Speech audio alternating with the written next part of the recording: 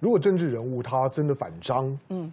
或者他对于劳工的团体，他就是有强烈的支持，我我我觉得都没有关系。对啊，讲出来就好。对，让支持你跟反对你的人都能够信得过你。对，但是最可怕的是说一套做一套。而且最可怕的是呢，你原本支持的，只要国民党一支持，你就立刻反向，就成为了反对党。所以什么通通都反对，这个才更是可怕的。反对的那些的内容，以后我们会一样一样拿出来讲，让你知道，就在许多莫名其妙，但是你不知道的。反对的背后，其实重伤了中下阶层，尤尤其是劳工朋友们的权益。嗯，好，今天呢，我们分两段，后面呢，我们来来谈一下，就是柯文哲，柯文哲跟商人的关系，反商嘛不，他跟商人关系好到水乳交融的地步。不过呢，今天一开始我们要来关心什么呢？我们要关心蔡英文。那呃，蔡英文因为他已经是民进党的二零一六的总统候选人，我们当然知道，就是说过去蔡英文不管是三只小猪，或者民进党过去给大家的刻板印象，认为他是跟弱势站在一起的，跟劳工是站在一起的。但是是吗？当蔡英文说啊，这个劳工的假放太多的时候，你认为那是偶尔失言吗？其实不是，长时间我们做简单的比较分析之后，你就知道谁是讲一套做一套的。好，那到底呢？蔡英文说了什么？以及蔡英文的假放太多，在网络上面的反应又是一个怎么样的反应？我们把现场交给婉君星星。民进党总统候选人蔡英文呢，最近呢真的是行程满档，非常的热闹。他不但呢要去这个接见这工商界的这些大佬们，同时呢他还要去迎接马英九的这一个热战，有关于两岸如何的维持现状。不过他最近的热门话题可是他自己惹出来的。在上个礼拜五，他在张滨工业区跟厂商会谈的时候，他说出了一段劳工的假实在放太多了。这一段话呢，虽然在主流媒体当中呢，并没有特别的点出来讨论，但是在网络上的讨论声量可是非常大的。那么逼得他呢，在两天之后呢，必须要在脸书上道歉，说这句话呢是失言了。不过你可以看出来，网友并不怎么买单，整个讨论的声量就骤降了。那么我们来看他这一个劳工价太多的说法，网友们是如何的来讨论？简简直是一面倒的痛批。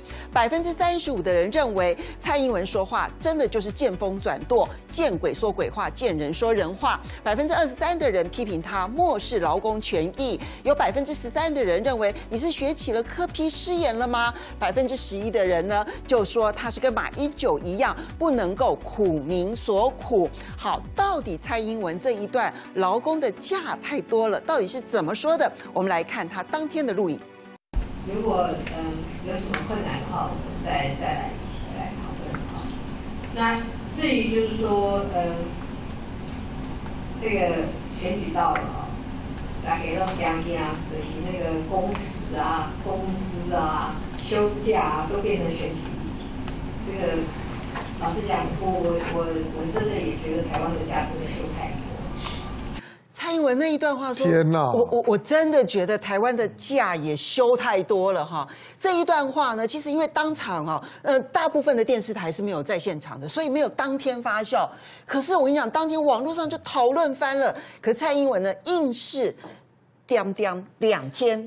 沉默了两天之后呢，他在脸书上面真是快昏了。各位看看他怎么牵拖的哈。他说呢，前天在彰化参访工厂，然后呢，并听取当地中小企业的意见。由于当时没有足够的时间。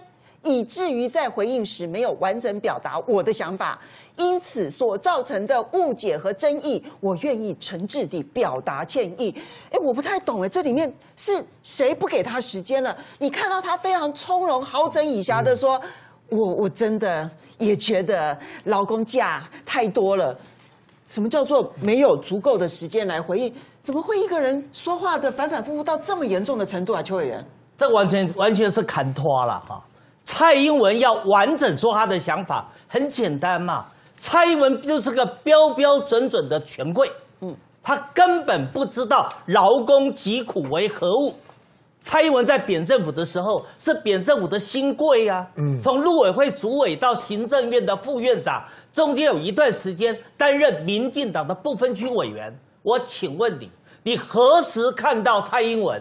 为劳工争取到一丁点的福利，说得好，没有，没有工时的问题是国民党提案。对对，好，国民党提案那时候每周才从四十八小时周休二日降到四十四小时，接着在国民党执政以后又降到了四十小时，跟蔡英文有什么关系呢？蔡英文有帮劳工说过一句话吗？好，再谈到基本工资，蔡英文担任行政院的副院长，有帮劳工调高过基本工资吗？好，没有啊？一次都没有吗？没有，蔡英文没有。他担任行政院副院长的任内，他没有帮劳工调过、调高过基本工资。啊这个这个很容易马政府七年已经调了五次，哎，这很容易引起误会，因为邱毅邱毅刚刚讲的，简单讲，民进党执政八年只调过一次，对，但是不在蔡英文不担任是就在他。快卸任陈水扁快卸任前的时候，那个九十六年七月一号是。张进雄当行政院长，哦是，的。二零零七年的七月一号才调过一次基本工资，所以蔡英文在当副院长期间一次都没有调过。来没有过。对，而且在当时讨论到劳动三法调整的时候，因为劳工最缺的是什么？就是他跟雇主之间权力结构不平衡嘛，嗯，所以他们权益争取不到嘛。台湾的劳工很可怜的，你不要像蔡英文一样说他们价多。台湾劳工常常过劳死的，常常过劳也是发生工伤，而发生工伤的时候，跟雇主要去打劳资争议的时候，还求助无门呐、蔡英文有帮助劳工讲过一句话吗？有帮助劳工去推动让劳工的权利能够跟雇主之间平衡吗？好，我在讲最不要脸的是什么？他竟然讲到劳工派遣制。劳工派遣制就是在民进党的任内把劳工派遣制给落实，把劳工派遣制给扩大。是蔡英文，你有负过责任吗？你有负过责任吗？好，再谈到官场劳工，官场劳工不是被劳委会告吗？是谁告的？是劳委会主委陈菊告的。你蔡英文有帮助官场劳工讲过一句话吗？好，今天你蔡英文要去争总统的大位，所以你倒过头来，国民党做的你都反对，国民党做的你都抹黑，你工时也抹黑，基本工资也抹黑，然后派遣制度也抹黑，然后劳委会告官场劳工你也抹黑，这就是蔡英文真正的意思啊！他真正的意思就是个权贵，他就是看不起劳工。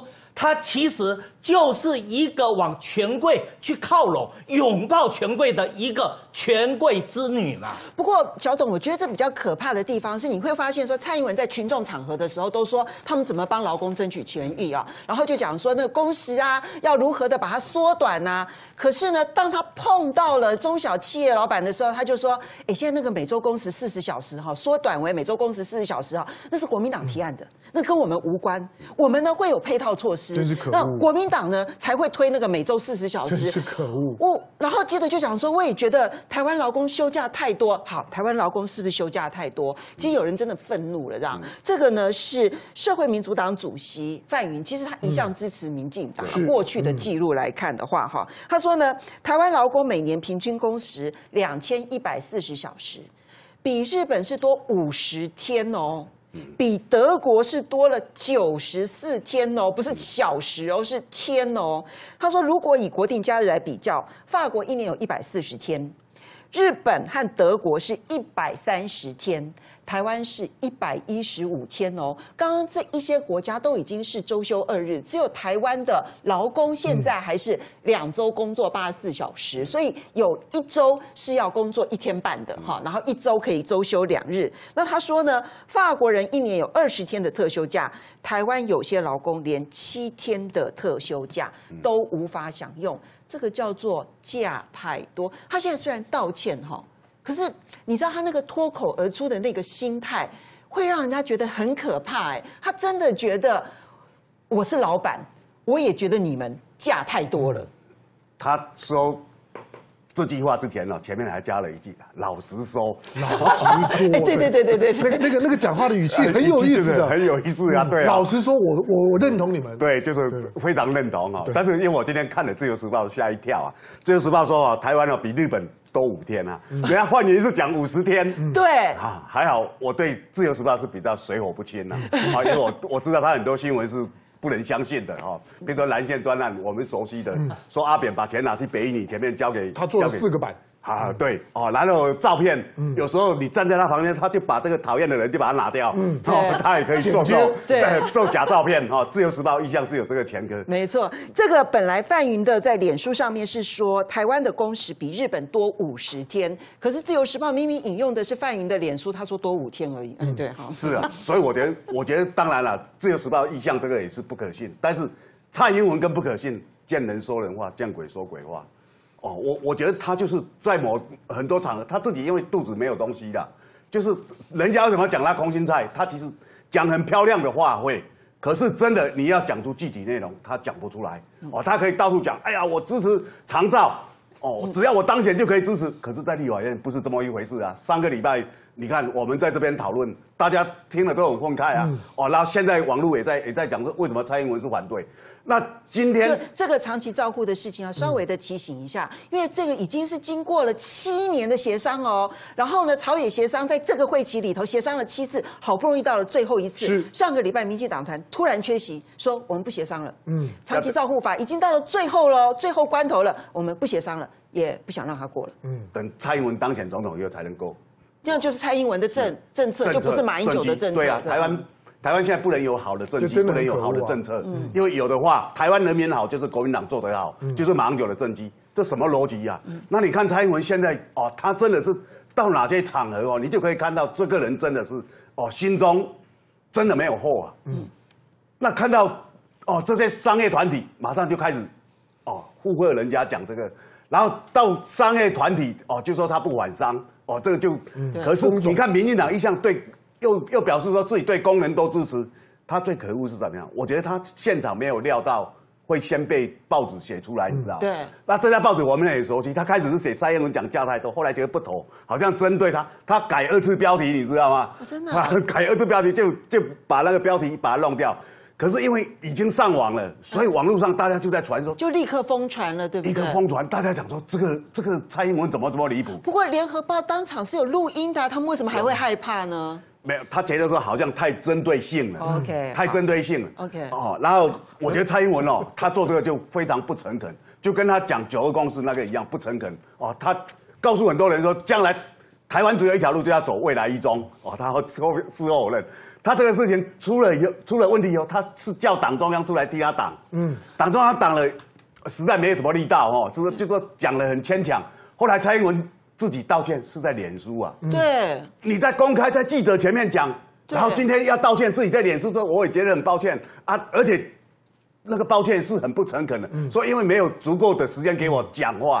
大家如果看刚刚那段录影带，那个时间是随你，你要讲多久就给你多久，对啊，哦现那种场合现场真的没有人控制他的时间，没有人控制啊。对，所以我觉得他都在推脱，推脱到发现说，哎呀，现在事情不好了，嗨了，我今麦逮几个安诺，就在脸书上稍稍稍的道歉。嗯那这样的人没有担当，肚子又没有哦真正的货可以拿出来推销，你说他选举，我到目前为止也看不到牛肉，所以我觉得这个人哦，你现在就可以看穿他的真面目。我觉得如果哈没有牛肉是一种哈，如果万一一天到晚给的都是假牛肉，那个比较可怕哈。我觉得这一次的事件当中呢，是蔡英文哦，他不但说哎台湾劳工的假太多，而且哈。他跑到去跟工商企业告国民党的状，说国民党哈推那个每周工时四十小时，都是他们在反商，我没有反商。然后呢，平常呢对劳工洗脑，就是说啊，国民党都跟财团站在一起，只有我们跟劳工站在一起。然后可是呢，他把所有的事情啊，要不然就是推脱时间不够，要不然呢接这个是苹果日报的报道。我觉得，如果这个民进党认为国民呃《苹果日报》的报道不对的话，赶快抗议。我们到目前为止还没有看到民进党的抗议啊。这里面有一段是这样说的：据转述，上月底民进党内开会讨论劳动节应提出哪些政策。那么因为呢幕僚简报的时候诉求太杂不够具体，蔡英文当场斥责：你们就是这样，我才会被人家说是空心菜。他还举国民党主席朱立伦主打的加薪四法为例，认为这样子的政策才会聚焦。所以蔡英文他觉得他自己的政策会不明确，都是幕僚的错，跟他自己都没有关系。可是这嘉兴司法会聚焦，他们也是反对啊。呃，都都反对啊，每周工时四十小时，他们说是国民党提的加薪四法，然后他说那都是朱立伦提的，所以一切通通都是别人的错，他蔡英文通通都没错，哎，对，如果他没有当选的话，就是美国的错，跟台湾人民的错，都不是他的错。他这种，就他们家太有钱了，嗯，然后他平常要假装跟劳工站在一起，很讽刺的事情哦。五月一号劳动节才刚刚过。哦，对，蔡英文五一劳动节他讲了什么？你们记得吗？他讲了三点。哦真的哦，他说第一点，五一劳动节他讲三点，他说每周工时不得超过四十小时，嗯，他公开讲哦，那还脸书也说假放太有，多，这是一个哦，没有不得超过四十小时哦。嗯。可是呢，国民党的那个每周工时四十小时的法案，民进党又全力背革，不让你过。一方面说每周工时不可以超过四十小时，可是国民党对手提出一个妨碍，我不可以让你过。现在是马英九当总统、哎，我你笑，哎，我让你过之后，这政绩又是你的啊，我宁愿卖台，我宁愿伤害老百姓，我也不能够让你有政绩。这第一个。所以之前他这个很可怕哎，他会去，如果他在立法院阻挡，然后就会跟这个劳工们讲说说，就是国民党不对让你们每周工时只有四十小时，然后跑去工工商企业去这个邀功说是我们阻挡的，所以这个案子才没有过，好可怕、然后去去跟老去跟老百姓讲说，国民党分配不正义，所以我们要要支持太阳花。然后又跑去跟工商团体说，只有靠我们，我们才我们不会反商的，我们绝对不反商。第一个事情是说，他说每周工时不能超过四十小时，可是他反对国民党提出了削减工时的法案。然后昨天为什么他会讲？为那一天他为什么会讲说，哎呀，老实说，我也觉得价放太多，因为他以为媒体都走了。嗯，哦所以他真的是讲讲真心话，他那个老实说，我们大家都听出来，老实讲啦，哎呦，这那个的狼哦，是这种语气，他是在跟那些企业界在交心，就嗯在交心了。企业界也会觉得他是自己人。嗯其实因为大家都知道，知道蔡英文他也很会做生意，不要忘了宇昌案啊，他跟尹衍良的关系多么的麻吉麻吉呀，他可不是跟劳工站在一起。好，第二段是什么你？知道他为什么会误以为现场媒体走了？因为因为哦，一般电视台不都是扛着那个大的那个、嗯那个摄影机吗？是可是呢，网络媒体就是成本要比较减低，所以他们其实就只有那种像那种像那个手机一样的那其种小实一台手机就可以了。对对对，所以大家以为说，他以为说，哎呦，记者都走了啊，他放下心了，然后我们来大家来交心吧。可是那家媒体不是故意的哦，他到哪里都是这样子。可是我要讲的说，他绝对不是失言。刚才苹果日报其实是在帮他 cover，他不是失言，他是真的觉得说，现在记者走了。那个照相机走了，什么都走了，我们可以来讲真心话嗯。好可怕哦但他没有想到有人拍下来。那第二点，他还劳动节还讲什么？他说我要推动最低工资法。那刚刚大家都讲过啦，他当过行政院副院长的时候，没有调过陈水扁执政的时候，只调过一次哦。那是陈水扁后来调的张要俊雄下时代台前的是对可是马英九调了五次哦，是对，他有没有讲过一句？有没有赞赞赏过一句？有没有称赞过一句？有没有支持过一句？没有。他都骂啊。然后第三个，他还说我要推出派遣专法，要限制派遣滥用的问题哦。这是他才两个礼拜前，不到两个礼拜前讲的话哦。派遣专法不就是民进党执政的时候努力在推、成绩在弄的吗？那他还讲哦，台湾劳工薪水很低，工时很长，我们无法忍受。然后今天这个是这个就是台面话，好、讲给劳工，讲给大家听的骗票话。等到照相机走了，你们这些讨厌的摄影大哥走了以后呢，咱来恭喜在位了，老实讲，哎呀，我嘛干嘛讲哦，放假放太多了。其实台湾现在志贤我请问一下，公务员放假是周休二日，可是对劳工有很多是不、不适用的对是没有的。他当了一辈子快乐的公务员，有领十八趴，所以他觉得假很多。没有，可是志贤，我请问一下，对到底是他跟劳工在说我们工时太长是讲真的，还是去跟那些中小企业主讲说，老实说，劳工的假太多，到底哪一个才是真的？那个才是真。的。他觉得价太多才是真的，因为那个时候没有媒体，他觉得没有媒体。然后那个时候他讲老实说，所以他那个心情是说，哎呀，那个老实说，就像他讲未来一中哦，未来一中怎么最近不是不是在讲说那个那个五九九二对对，共识不是不是，他说呃，录两千年哈，大家看《工商时报》两千年八月四号有一则报道说，陆委会主委表示。台湾无法逃避一个中国的问题。从文化地理来说，未来的一个中国是台湾民众唯一的选择。是是好是，那立刻对民进党郑云鹏怎怎么讲？他叫郑云鹏出来说否认说没有这回事，那是媒体错误报道，没有这回事。他正式否认哦。结果呢，我们又找到另外一个报纸，两千年八月三号《联合晚报》，两千年八月四号八月八月四号《联合报》，这表示这个事情发生在八月三号。其实都不用这些报纸，因为陆委会在两千年的时候的公报，新闻稿他们自己在蔡英文当主委的时候，公报挑的内容就讲未来一那都是中国人内造的啦。当我们看到，可是民进党正式否认哦，是他正式否认说没有这句话，连这个他都说谎哦。看到五月八号蔡英文那样讲，第一个地点在在的彰化，对，你知道彰滨工业区是当初他们要力推国光石化的地方。对，你当初执政推国光石化，你把国光石化废了，今天再回过头来跟那些工业区的这些厂商们在把诺说价放太多，看了真恶心。第二个，这件事情会让我真的感觉到国民党真是蠢。嗯，我们回想过去二十年，其实跟所有九百多万的劳工朋友权益最相关的三件事情，第一个全民健保，嗯，第二个国民年年金，第三个周休二日，第四个基本工资的提高。我老实讲，每一件都是国民党在做。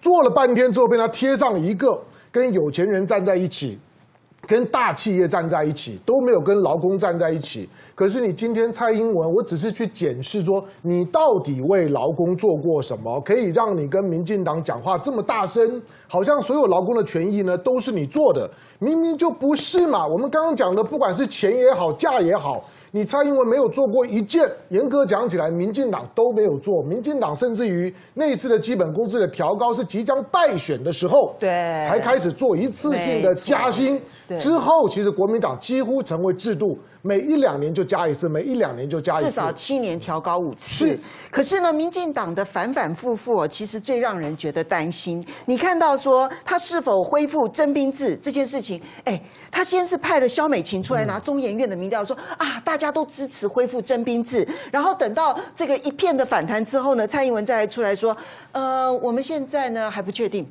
好，然后呢，同样的，跟彰滨工业区的厂商座谈的时候呢，那么厂商说要反映缩短工时这个问题呀、然后他就讲说说啊，我也觉得价太多了。然后等到呢网络反弹了之后呢，再来讲说说，哎呀，对不起，我当时都是没有足够的时间来反映。哇，这个反反复复比较可怕呢，因为你真的不知道他到底是要走哪一条路。你这所以啊，我们就讲，民进党在这边讲说，我们他要誓言捍卫劳工。五月一号哦，跟五月八号只差七天而已。是七天前他才说要誓言捍卫劳工权益，证明都是骗我们的，都是屁话一堆。那所以我觉得，如果假太多，那不如我们先考虑废除二二八吧。你看，连二二八家属都说，哎呀，当天不不需要放假，为什么？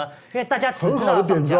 对，大家只知道放假，不记得这天是什么日子，所以连二二八遗族家属都说不要放假了。所以，如果蔡主席呃蔡英文蔡主席哦认为说假太多，那请你上任之后先从二二八不要放假开始吧。不过我们稍微休息一下，等一下回来。松烟文创的这个事情呢，现在看起来哎有了一个结果了耶！哇，成品把这个商场跟旅馆买下来了之后呢，哇，富邦也说 OK OK OK，然后成品也说很棒很棒很棒很棒，然后呢，柯文哲说很赞很赞很赞很赞。但对不起哦，当初在说松烟文创是假文创，可是现在看起来成品买回了商场跟旅馆之后。啊，高价的旅馆还是很高价啊，然后那个整个的文文创的那个展展区还是很高昂的这个奢华区，也没有任何的改变啊，它依旧是假文创的问题，难道会因为一年多六百万就改变了吗？我们休息一下，马上回来。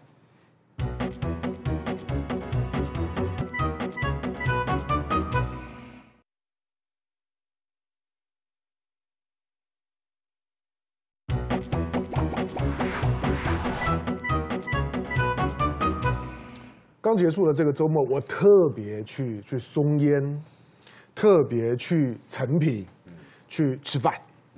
那当然我我不是没有去过啦，但是呃这次去的感觉特别的深刻，因为我真的觉得它不是一个太亲民的地方。就一个就是说市政府 BOT 的案子来讲，这个地方的价位质感我不能说不好，但是那个所呈现出来价位不管真文创、假文创，跟民众的距离呢是非常远的。好，不过看到松烟今天当台北市政府以一种就是说，哇，我们终于终于解解决了一个案子，原来是这样子解解决法。你如果看了那个细节的内容，除了里面真的有许多的图例，有许多呢很可能是违法，甚至于呢大大的改变你对 BOT 的基本的认识的做法之外，最重要的是你完全懂得柯文哲讲的，就是说拿刀叉吃人肉是什么感觉，你完全会懂得什么叫做人为刀俎啊，我为鱼肉。我们把现场交给婉君协金。这个周末呢，台北市长柯文哲跟富邦的蔡明忠以及成品的大股东童子贤见面之后呢，成品跟富邦的这一个台北文创出现了重大转折。现在看到呢，这整个案子呢要落幕，是将会由成品他买下了商场。跟旅馆，那么这个案子呢，就可能可以解套了。对于富邦来说呢，它可以切割成品，因此呢，它可以解除了社会争议的这一个包袱。而对于成品来说，他买下了商场跟旅馆，可是坐拥了超过四十年的权利，然后呢，可以好好的好整以暇的经营商场跟旅馆，而他要付的权利金一年只有六百万。那么这件事情呢，到底网友如何的来看待？哇，柯批一出手呢，就解决了松烟文创的问题，高达百分之五十三的网民说棒啊棒啊棒啊，可以共创三赢。哪三赢呢？那就是柯文哲赢了，那么富邦赢了，成品赢了，但是市民赢了什么呢？好，所以就有百分之十九的网民呢，就开始说柯粉你们该崩溃了吧？因为其实台北市民没有获得什么啊。另外有百分之十六的网民就提供说假文创的。问题难道付了六百万就不存在了吗？也有百分之十二的人说，那当初到底是在骂什么呢？我们等一下呢，就好好的来检讨一下松烟文创的案子，经过了成品买下了商场跟旅馆，问题难道真的解决了吗？你刚刚看到了网络的网友们的那种的声量反应，我要肯定我们的网友，你们比许多的媒体的脑袋清楚多了。我要请教秋一，那是个 BOT 的案子。我第一次发现说，原来 BOT 可以在执行没有多久了之后，还可以分割，不用重新招招标，私相授受，连官方都参与。然后原来我们在讨论的东西呢就不见了，可以这样？呃，我在教财务管理了哈。如果说童子贤的那个建议是对的，柯批真的是挥了三刀，于是把松烟问题解决了。嗯，那我财务管理就不要教了，就作废了。我请问大家，BOT 是五十年，嗯，当时 BOT 签约是台北市政府跟台北文创，是台北文创就富邦，请问成品在哪里？哎，成品只不过是台北文创富邦再把它租给成品，是成品是二房东，是然后成品再租出去，是不是这个样子？是。那我请问你，这个 BOT 的约是五十年，你现在可以由富邦。跟成品谈好了，我就把旅馆跟商场我就切割，然后我就卖给你成品吗？可以这样子吗？这符合 BOT 的法律跟 BOT 的精神吗？好，那财政局长苏建荣说，你可以采取增资啊，然后再由成品来认股啊。那我请问你，你即使增资认股，你也是在台北文创啊，你可以可以在。旅馆跟商店，也就是从地下一楼到三楼的这一部分，是，然后就给就给成品吗？这个叫 BOT 吗？嗯，我从来没有看过这么荒荒唐的 BOT。好，柯批很高兴，说他解决了，为什么？因为都他自己人嘛。嗯，柯批、蔡明忠、成品。虽然这是童子贤，他是代表成品的吴清友，对不对？对，不都是阿扁的人吗？不都是同样的人吗？所以密会也是常态啊。你去批评马英九，说跟赵腾雄说是密会，那我请问你，你柯批跟蔡明忠会，柯批跟蔡明忠童子贤会叫做什么会啊？嗯，就是密会，就是黑箱作业，而且还是单独一对一，是，还有一对二，嗯。那我请问你可以这样子做吗？你这样子要不要移送啊？以你的标准啊，要不要移送减掉调查？你科比也不在里面作弊？难道你科比一句话说，哎，我是好人加好人，就在做好事，好人坏人是由你科比定义的？你那么伟大，你是皇帝呀？好人坏人都由你来一句话说定吗？哎，之前我不懂啊。其实上礼拜我们看到民进党的市议员呢，在痛批成品的时候说，哇，富邦呢租给你一瓶一千块钱，就是你租给人家一万块钱，你转手之间呢，这中间的暴利是十倍。然后呢，就痛批说那个那个那个成品的那个旅馆呢，一天晚上一万五千块钱。然后富邦也很生气，说我叫他们降价啊，降到一天六千块钱呐、六千块也很贵啦，他就不肯降啊。好，说这个是个高昂贵的这个旅馆，根本就不亲民。好，这两个非常昂贵、社会观感不佳的这件事情，现在成品说我买回来。我照样一天晚上一万五千块钱，我也照样呢一个一瓶呢租一万块钱，而且呢我反正一年付给台北市政府六百万元，你们就通通给我闭嘴。然后我觉得现在柯文哲呢这样子非常得意的说哈，他一个月一年哈多拿了六百万，可是我说真格的，他拿到的这个六百万呢，就算未来四就成品就保障四十四年的营运权呢，对那总共是两亿六千四百万。其实去年底哦，松烟刚刚开幕没多久，因为营运状况比二零零八年签约的时候好，当时郝龙斌呢就跟台北文创多要了六亿零七百万，对三倍。当初没有敲锣打鼓拿了六亿，现在呢，这个整个的敲锣打鼓的结果，一年才多六百万。更重要的是私相授受。我们休息一下，马上回来。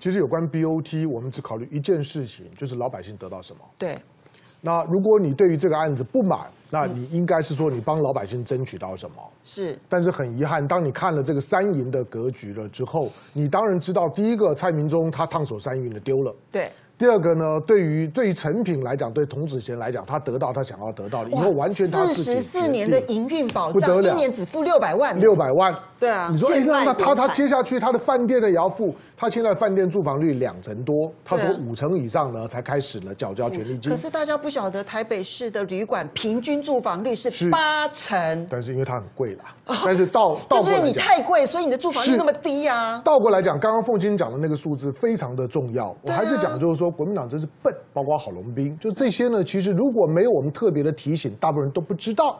郝龙斌也不过二零一四年去年选前的时候呢，把把这个松烟呢找来讲一讲了之后呢，好六亿多呢就就就进来了，三倍的钱，我还需要等你四十四年慢慢收吗？六百万能干什么？六百万我老实讲，连你呢这个呃我们讲的悠游卡嗯要付给那个代寄权的薪水都不够。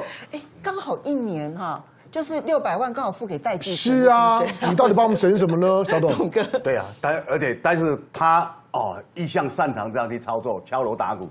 然后你知道柯文哲所谓的这五大案哦，他从前面开始假装去恐吓哦这些财团，就是无非希望财团吐出一点，然后要昭告天下说你看郝龙斌哦独立的财团，财团被我强迫从口中吐回了多少钱给台北市民，他其实是一直在玩这套把戏啊。哦，那这套把戏其实财团自己也看得很清楚，所以我觉得说柯文哲哦，他现在用这种敲锣打鼓，其实你只要把很多东西拿来做对照哦，那大家就很清楚了。就好像这两天大家可以参考一下高雄鸡蛋跟台北鸡蛋的对照，嗯，而你用对照很多东西就很清楚了，太好玩了那对照很多东西你就太难看了。你如果看上个礼拜多少民进党台北市议员捍卫柯文哲的，痛骂陈品是什么财团，哇！你看高嘉怡，我的好朋友，哦，对不对？哇，讲的头头是道啊！现在人家已经瞧好了啊，你们怎么办？是啊你们你们这些人是不是要透面之干？对不对？哎，对，应该要问一下这些民进党的市议员，是啊是你们在痛批成品的耶。痛批的很难看，拿出多少资料、哦，然后你再看哦，他前面，比如说我我举个例子哦，柯文哲前面不是讲说人家脑袋装什么吗？因为他用路边的监视器去抓那个停车违规吗？后来现在已经改弦易辙不做了。那时候网友哦，大家都很崇拜网友，那时候五十几的网友挺他，我要挺柯文哲，表示他们脑袋装的不是叉叉叉嘛，对不对？现在柯文哲不做了，那你们你们这些网友不是变成脑袋是装这个的？哎，不敢批。我讲哦，台湾的示威就是要用对照，你知道吗？是对那柯文哲哦，他开始一直玩，玩到最后，他的所有黑箱完全被人家看清楚了。你哦，你刚刚看这三个人谈是黑箱，对不对？找童子贤他们谈是黑箱，找蔡明忠谈是黑箱，前面哦，三创太早勾手证的 A 摊，对，你也没公开啊。都没有公开啊，事后出来讲，廉政会开了一个多大的了不起的什么？廉政会有对记者公开吗？也没有啊。小董啊，他连囤房税到现在我们都不知道他是怎么建的，怎么啊？对他的决策过程完全不知道，是甚至最小的万华的中义国小要废校，嗯，他们都花局在开会，家长说我们想进去听，也不给人家听。后来记者实在气不够，就问柯文哲说：“你不是公开透明吗公？你不是透明政府全民参与吗？”对，柯文哲说：“透明也不要给我无限上纲啊！嗯，哎，你要会人家的笑，人家的爸爸不能去听一下你们到底要怎么会吗所以你可以看到，我们从太阳花，大家喜欢把黑箱这两个字把它放在嘴巴上，可是碰到柯文哲，嗯，这些人完全没有声音了。你可以看到台湾社会哦，这些所谓的网友啦，或者这些挺柯的这些柯文，哦，你看他们都没有不公平。对。你再看前几天有一个建筑师，他是很挺柯的，延阮庆大学，嗯。嗯，延志大学建筑系主任，他也是个小说家阮庆岳，然后他只批了柯文哲说啊，柯文哲已经傲慢到让我们害怕，嗯，哇，他也被铺天盖地网友追杀，所以你可以看到柯文哲选前用网络栽赃了多少人，霸凌多少人，他是台湾。网络霸凌最大的获益者，不过我到选后又用网络继续在治国治台北市，这个比较可怕。其实我觉得这里面可怕的地方就在于说，你看到他哦，见郭守正谈三创，或者是见蔡明忠、见童子贤，然后去谈松渊文创，他都是见当事者、利益者，然后去谈他们的利益分配。你不觉得这个政府直接跟业者，然后谈他们的利益分配、这件事情，而且是黑箱谈，没有公开，很可怕吗？民政，呃，我刚刚就在想啊，到底三赢，那其中人民到底赢了什么？嗯结果原来我们只赢了六百万。那这六百万，我刚刚看了一下好付代，寄付代寄权的薪水啊。我发现连订报纸都不够，因为报纸要一千万呢。对对对我本来想说，大家有没有可能说柯文哲要个五亿、十亿，然后大家就免费可以骑 U bike，结果也没有哎。那我刚刚在想说，如果说成品营运这么差，这个饭店为什么不收回来做社会住宅呢？那以后成那个市政府就可以打一个广告说，给青年一边做文创，还有家可以住。哎饭店式的管理，一卡皮箱立即入住，不是很好吗？否则五万户社会住宅到底去哪里生呢？有道理，有道理啊。，五万户住宅到现在还生不出来，先从这边收个几户也是有有赚嘛。我不懂为什么柯文哲到底帮人民争取了什么？不过呢，上礼拜呢，这柯文哲的廉政委员会呢建议要移送大巨蛋的这个案子，移送马英九。可是呢，建议了这几天下来呢，柯文哲都支支吾吾的说，让我再考虑，让我再考虑，因为他们的法制局长说啊，都合法、啊，休息一下，马上回来。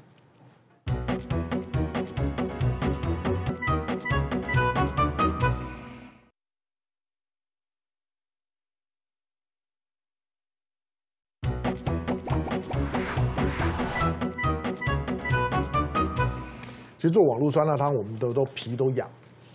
再来，我们其实都很敢犯众，因为我们只希望就是说，任何的道理都能够回到正义跟正确的基础上面去讨论。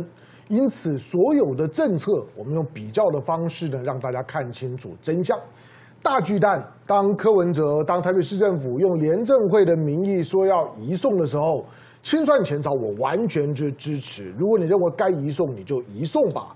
但是我们把里面的内容拿出来看了之后，我还是提醒柯文哲，请你把今天的网络酸辣汤看清楚了之后，你再决定你的移送会不会丢了你的脸。我们交给婉君星星。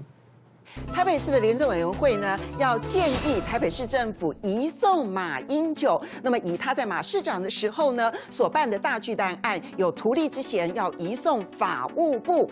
到底这个移送案呢，网友们是如何来看待的？嗯，有百分之四十三的人呢认为马英九要步上陈水扁的后尘，颇有看好戏的味道在；也有百分之十四的人呢认为马英九具有实质影响力。其实这是引用陈水扁案当中的实质影响力而。涉及到贪污治罪条例的一些相关法则。不过呢，也有百分之三十三的民众呢认为，这明明就是用黑机关在搞政治斗争、搞政治迫害。也有人拿高雄巨蛋来比例说，那么他的权利金也是零哦。那如果大巨蛋以他台北大巨蛋呢权利金是零要移送的话，那高雄巨蛋的案子又该如何的来看待呢？我们今天呢就好好的来看看高雄巨蛋跟台北巨蛋来做一个比较。更重要的是。台北市政府的法制局长说，嗯，这件事情合法哎。那请问一下，台北市政府要怎么移送呢？难怪柯文哲经过了三天的长考，今天的答案仍旧是再让我想一想吧。其实我们都知道，所有的网友都在热烈的期待拆弹的那一天。但是我可以跟大家讲，当决定要要用移送的方式去处理的时候，它就是个烟幕弹，就是告诉你说拆弹不用等了啦，他只想混过去而已。邱毅混得过去吗？当然混不过去吧。而且现在大家开始在比较了，嗯，因为他想要用图利罪、图利远雄，嗯，去移送马英九跟李树德，是。可是图利罪只能用在结果犯，也就是巨蛋已经盖成了。而不能用在未遂犯，就是说还在盖的过程里面。那什么蛋已经盖成呢？我告诉大家，有个蛋已经盖成了，而且营运了。那个蛋叫高雄巨蛋。那没有去告，没有去告啊。嗯，我去告发过，但是没有人理过我啊。嗯，到现在为止，高雄地检署没有处理啊。我稍微比较一下好了，台北巨蛋政府没有出钱，不用出钱。对，高雄巨蛋政府出了十五亿。嗯。台北虽然没有权益权利金，但是有千分之二的回馈计划取代了权利金。是高雄市没有权利金，也没有回馈计划，也没有回馈金，还要拿十五亿，钱都没有，都没有。可是现在高雄巨蛋不是那附近百货公司，听说一年的营收是九十五亿耶。对。而且还当时变更设计哦，嗯，因为原来现在的百货公司的那个地点原来是体育场哦，哦，现在变更成百货公司哦，百货公司是谁的你知道吗？嗯，也就是说百货公司是汉神百货，汉神百货是侯西峰的，嗯，大家知道，不在讲科比不是讲吗？台北巨蛋马英九图利远雄，他是未遂哦，还不知道哦，嗯。但是高雄巨蛋百分之一百图利了，而且谢长廷当时是高雄市长，有没有到汉来饭店的顶楼跟侯西峰密会过？嗯，另外还有一个汉威巨蛋的也是老板之一啊，中钢的董事长林文渊呐。哦，一个是侯西峰，国阳建设是。票票背信诈欺，嗯，有犯刑法的，嗯。你今天图利侯西峰，你图利跟扁案有关的涉入扁案贪污洗钱的林文渊，你为什么不移送？嗯，而且高雄巨蛋已经完工，已经营运，它是结果犯，明明白白，你为什么不移送呢？嗯嗯，你为什么不建议高雄市廉政会要去移送？谢长廷跟当时的公务局长林清龙，林清龙就是现在台北市的副市长啊。其实这个高雄巨蛋跟台北巨蛋做一个比较，你就会发现说，哎，都没有权利金啊。然后呢，台北巨蛋好好歹有一个回馈计划。其实我必须说啊，盖巨蛋都不是赚钱的啦，都要靠旁边的商场才会赚钱啦哈。可是呢，最重要的是，其实台北市不管是政风或者是法制单位。都调查过了，对，其实查的很久了，而且也移送检调，也都已经查过了。那么我们看到这个是台北市法务局长杨芳玲，就是这个姚立明的太太哈。他说，目前美和市跟大巨蛋案，北市府与业者有法律诉讼，三创跟松山文创无法律诉讼，仅协商要对对方呢弥补原合约，改善不合理合约的关系，但四大弊案都合法，只是不合理。哇，这跟柯文哲讲话一模一样哈，就都合法啊，只是不合理啊。如果都合法的话，请问一下移送什么呢？就最好就移送他自己了，因为整个联委会就是真的就是不要脸。我很难过讲这个话。第一个，他是个黑机关，然后现在人家在骂他是黑机关，他说不不不，我们属于正风下面，我们属于正风，那属于正风那。我我听不懂这个逻辑，它属于正风，可是正风处不是查过大巨蛋的案子，说没事对啊，然后第二个，他利益冲突，郑文龙是陈水扁的贪污案的律师，是，然后呢，袁秀慧是谢长廷的徒弟，而且是跟他合伙律师楼。洪志坤大家都很熟，都是老朋友了哈，都是陈局的爱将，后来帮柯文哲打选战，现在是市府顾问。我想到移送这件事情，洪志坤当初不就被移送吗？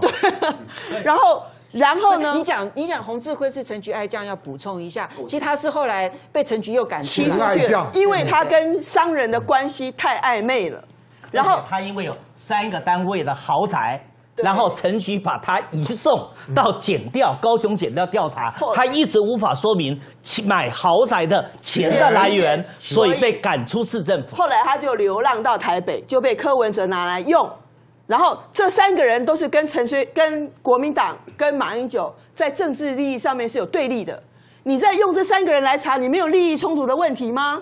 再来，他怕怕弄到诬告罪，所以他把这个报告弄去给法务部，因为是公务机关。照理讲，这三个人太了不起，你查到马英九的弊案，赶快三个人应该前脚堆后脚，跑到地检署去按铃申告啊！你我来求你你干，你应该立刻拿了你这个报告书。调查报告去按铃申告，你马上就是逮完得一用。等一下你为什么不敢？因为你会诬告。哦，原来有这样子的一个背景在，对难怪说叫做移送法务部，因为移送法务部就没有诬告罪的问对，题。因为他是公如果务机关。如果他拿着这些证据，你说证据确凿了嘛对，然后你就直接送到法院去按铃申告的话，没过就是诬告罪了对，如果你拿去马英九跟李树德跟远雄，立刻可以跳出来反告你诬告。诬告罪哎，所以他就是这样移送法务部其实是心虚啊，因为他非常清楚，因为里面有两个律师。我跟你讲，因为我这两天这整个周末都泡汤，都在研读这一本调查报，里面每一个八大缺失，每一个缺失都是谎话。你那本真的在马路上到的我们我们稍微休息一下，马上回来。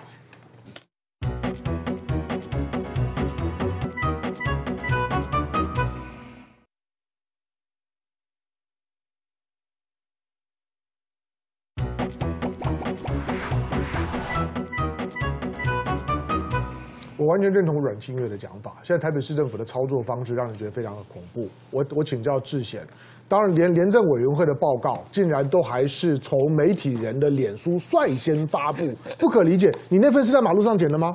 呃，我我跟我如果跟寇儿姐要，她可能不会给我。我是在网络上，后来等到很晚了，市政府他才正式真正在网络上面发布。嗯，但是他所有列出来的所谓的证据，全部都没有，所以现在很可怕。他号称开放透明，他所谓的所有的证据，像他讲说李树德的录音带，有没有人手上有李树德的录音带？没有。